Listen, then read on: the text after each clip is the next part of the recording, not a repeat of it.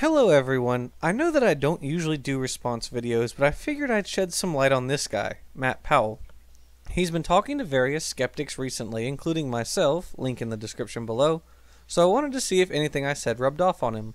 And so forth, and just prove as a young college student that the Bible is true and that the evolutionary theory is a fraud and in fact it's a religion and it's a lie straight from hell. No, apparently not. Alright, let's jump right in.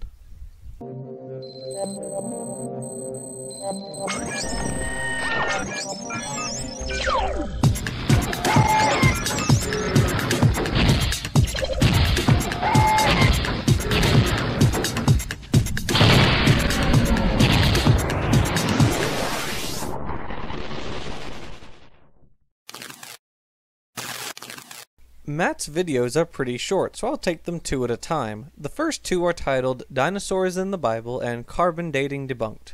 Okay, let's get to the first one.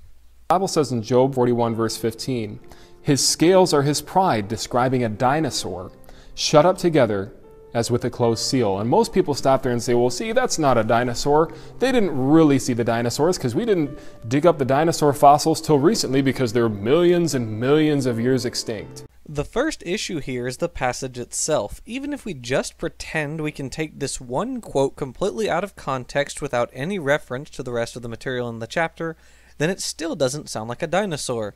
It could be describing literally any reptile or most fish. When we put it back into context, though, we see that God is bragging about how powerful he is, being able to defeat the sea monster called Leviathan.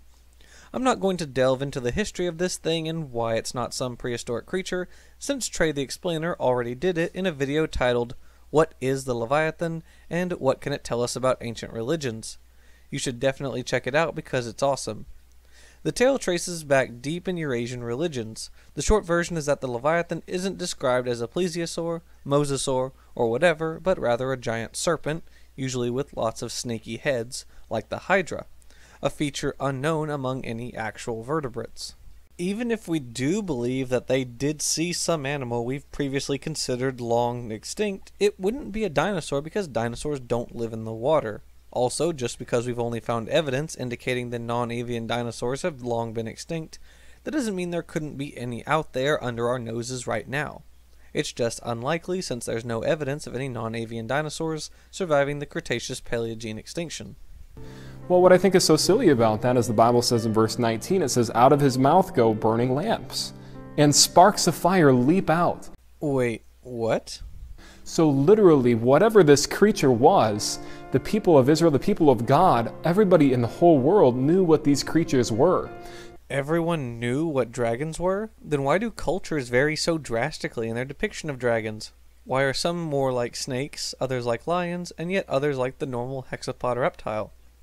Maybe people invented similar legends about these creatures because large reptiles, such as alligators, crocodiles, snakes, and iguanas, are abundant and scary.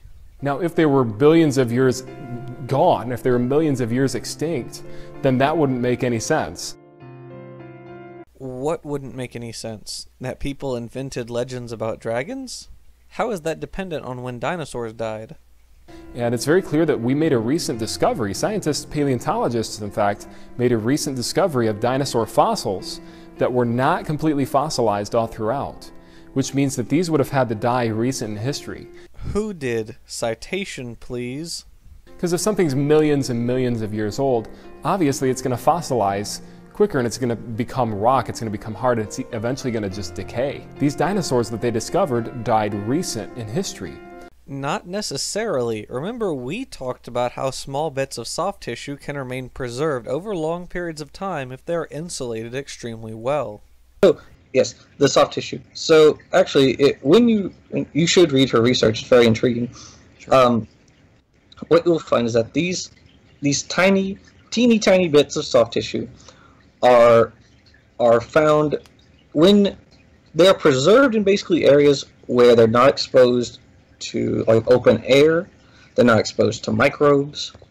And so when they're in these tiny pockets where you know temperature's not affecting them or soil acidity or anything like that, the, the question basically becomes why should we expect them to break down?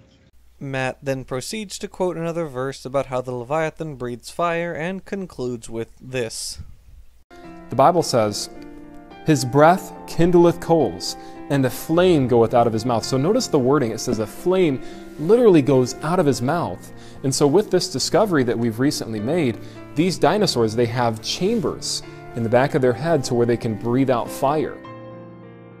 No, no, no, no, no. This claim comes straight from the pit of Duane Gish in the 1990s and conflicts with everything we know from paleontology, which makes sense because Gish had no background in paleontology.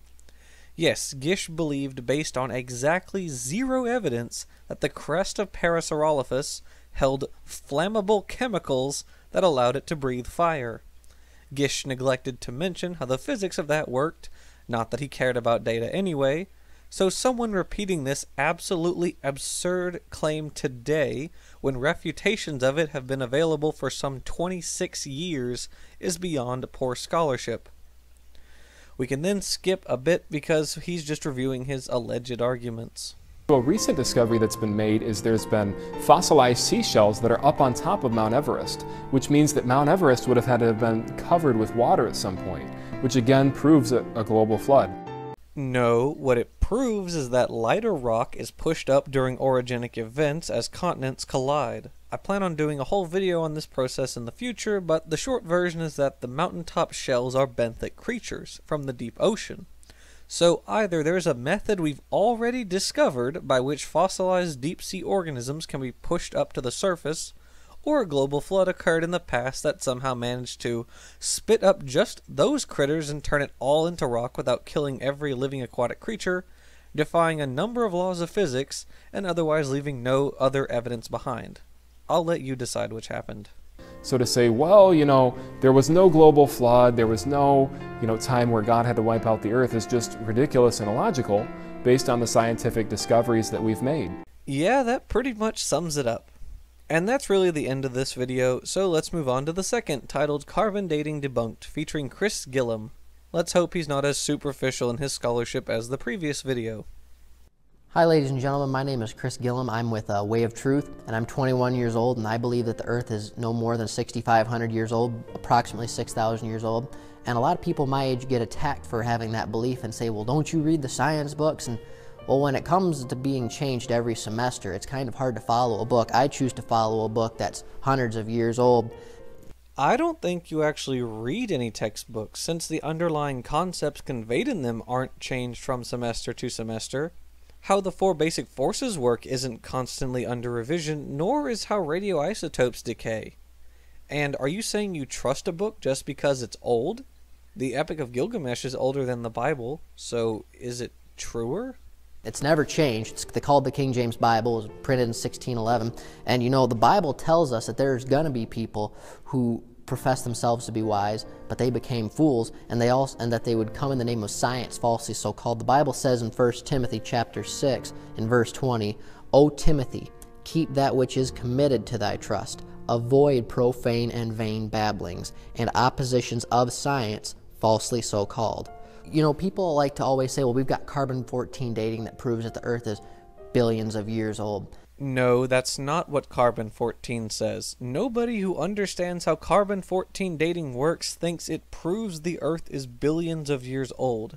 Steve McRae derived in the comments section that it's only useful up to a few tens of thousands of years. And Gillham even provided a link to an Answers in Genesis article on carbon 14 dating that says it's only useful to a few thousands of years. Even though the article is wrong in many respects, it's right on this. Did Gillham find the article after he made a video about the topic? Did he just wing it, thinking he knew much of anything about carbon dating? And you know, carbon 14 dating has been debunked and disproved because everybody always assumes that if you take a chunk of pure material, it has X amount of carbon in it. Well, it seems to me that you're starting off with a false positive because you believe that this chunk of, say, this Bible is made out of pure lead. You're saying that this Bible or that this chunk of lead has this much lead in it. But you don't know if it's contaminated with other materials, and if it is, that completely throws off your measurement. Let's address that first part about assuming the amount of radiocarbon in a sample. Gilliam is evidently unaware that the amount can be measured directly using accelerator mass spectrometry, so that's one thing he's wrong about. Next, contamination is always taken into account during carbon dating. Every radiometric dating technique takes note of way more than that. Carbon isotope balances are affected by radiation, our burning of fossil fuels, microscopic bacterial intrusions, and even how the two photosynthetic carbon fixation reactions prefer the lighter, natural carbon 12 atom. It's only a creationist misconception that scientists just cavalierly assume there has been no contamination. Now, for this next part, ignore Gilliam. Pay attention to the cartoon. Could have been contaminated in other areas.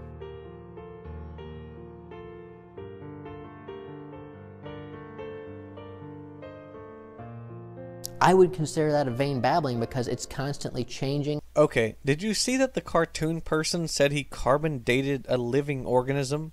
This is a blatant misapplication of carbon dating. The method only works for things that have been dead for at least a hundred years, so of course carbon dating living things is going to give you the wrong answer. This video just continues to solidify that neither Gilliam nor Powell have any understanding of carbon dating. I would consider that a vain babbling because it's constantly changing. If we could tell the first time how old the Earth is with carbon 14 dating, why are we now up to 5.4 billion years when we start off with, oh, just a couple million years? Well, that's because they keep having to change it because they keep discovering more and more things that are like, well, you know, maybe if we put enough time in there, we can justify macroevolution with microevolution. No, our understanding of the Earth's age has changed historically because new methods of dating objects, none of which are carbon dating, became available. Potassium argon, rubidium strontium, and uranium lead dating all independently indicate that the Earth is at least millions of years old. And what does this have to do with macroevolution? The conversation was how we know the age of the Earth, which only deals with evolution secondarily.